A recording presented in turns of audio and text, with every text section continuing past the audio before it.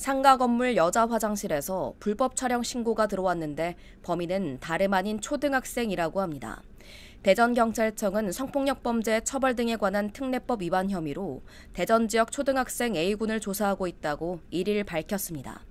A군은 지난달 25일 오후 중구 문화동 한 상가 건물 여자 화장실에 들어가 옆 칸 내부를 몰래 촬영한 혐의를 받습니다. 촬영을 알아챈 피해자가 A군을 붙잡아 경찰에 신고한 것으로 전해졌습니다.